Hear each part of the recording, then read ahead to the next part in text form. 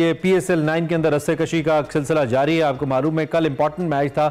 मेरे ख्याल में तो कराची किंग्स ने फ़्लाइट मिस कर दी है, ऐसा लगता है। इस्लामाबाद यूनाइटेड से कल वो मैच हार गए। एक तो इस पर भी हमने बात करनी है। आज Peshawar, Zalmi versus Quetta Gladiators important match है पिंडी के अंदर इस पर भी बात करेंगे। हमारे पास सैयद अवैस साहब मौजूद हैं। वक्त का मुकाबला सख्त है तो हम जरा क्विकली वैसे तजिया ले लेते हैं पहले कल के मैच का, और फिर आज के मैच के बारे में भी थोड़ी बात भी बात कर लेते हैं। वेलकम टू एक्सप्रेस वैस thank you very much for joining सबसे पहले तो कल के मैच के बारे में बताइए। इतना अहम मैच मुझे लगता है बहुत आसानी से दे दिया कराची किंग्स ने। योर टेक जी सलामकुम कराची किंग्स की अगर बात करें तो मैं अभी भी रिसेंटली एक शो में बात कर रहा था कि यार शायद बकरे जिबा करके नहीं आए सदके के क्योंकि बड़े एडिशन हो गए कराची किंग्स को परफॉर्म करते अब, अब बात सदकों और बकरों पे आ गई है।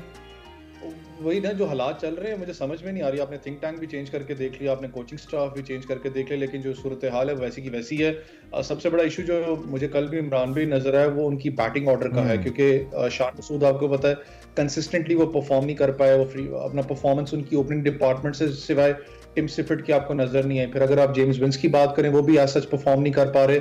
शुएब मलिक मिडल ऑर्डर के अंदर ऐसा सीनियर कैंपेनर मुझे पता है इकोनॉमिकली वाइज बॉलिंग के अंदर तो बड़ा ज़बरदस्त उनकी परफॉर्मेंस आ रही है लेकिन जब बैटिंग की बात आ रही है तो शुएब मलिक भी कंसिस्टेंट परफॉर्मेंस उनकी नज़र नहीं है आपको तीस बत्तीस इक्कीस बाईस उन्होंने स्कोर किया इससे ज़्यादा स्कोर कर नहीं पाए हम्म। तो जो प्रेशर है सारा वो उनकी बैटिंग की वजह से माउंट हो रहा है फिर नवाज़ की बात करें मुझे पता है कि मैच विनर अपनी जगह बाबर आज़म भी बहुत ज़्यादा उन पर रिलाय करते थे लेकिन अब सीरियस की बात है मैं खुद भी सोचता हूँ कि नवाज़ को रेस्ट देना पड़ेगा आपको थोड़ा सा रिलैक्स हम्म। करें उनको ताकि वो जाके सोचें कि आखिर गलतियाँ मुझसे क्या हो रही हैं हम्म। क्योंकि उनकी परफॉर्मेंस डे बाय डे जो सी है वो बड़ी डाउनफॉल पे जा रही है तो एक, एक बड़ा कंसर्निंग साइन है कराची किंग्स के लिए मुझे खुद भी था कि कल कराची किंग्स एक अच्छा परफॉर्म करेगा इस मैच के अंदर के हम्म। थोड़ा सा टूर्नामेंट के अंदर आपको नज़र आएगा कराची किंग्स वापस टूर्नामेंट में आ चुका है लेकिन दो मैचेस जब आगे आने हैं वो बड़े इंपॉर्टेंट है कराची के लिए कि कराची उसको जीते हम्म। और अच्छी इकोनॉमी अपना जो स्ट्राइक जो इकोनॉमिकली वाइज जोन है उसको अच्छे तरीके से जीते वरना अगर आपको पता नेट रन रेट उनका अच्छा नहीं होगा तो वक्ता डल जाएगा। कोयटा ग्लैडिएटर्स को भी परेशानी होगी तीसरे नंबर पर आ चुकी है।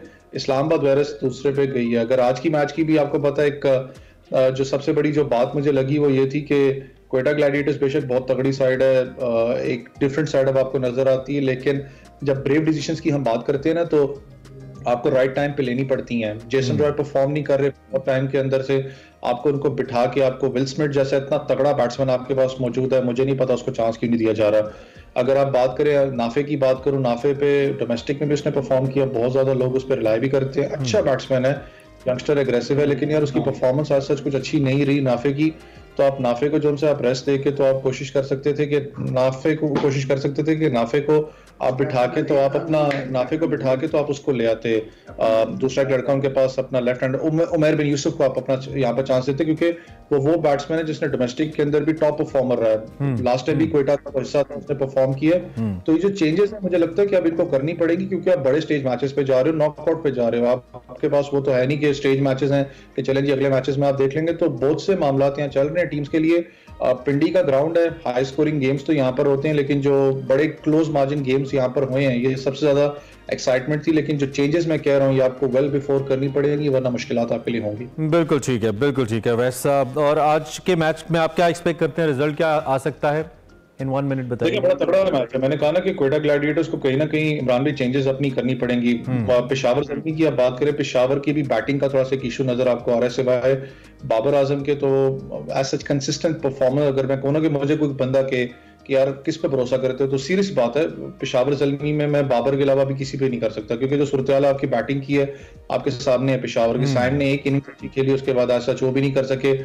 हारिस के ऊपर आपको पता है ड्यू है क्योंकि वन फिफ्टी प्लस का स्ट्राइक रेट वाला बैट्समैन उसको आपने ड्रॉप किया तो लगता है तो वो चीज़ें बहुत चल रही हैं तो उनकी बैटिंग को आज क्लिक करना पड़ेगा। ठीक है ठीक है चलें all the best thank you very much आए और आपने भी एक मीटिंग ज्वाइन करनी है लेकिन हमने कहा क्विकली जरा एक रिव्यू ले लिया जाए मैचेस के ऊपर जो दो मैचेस एक तो कल हुआ और एक जो आज होने वाला है।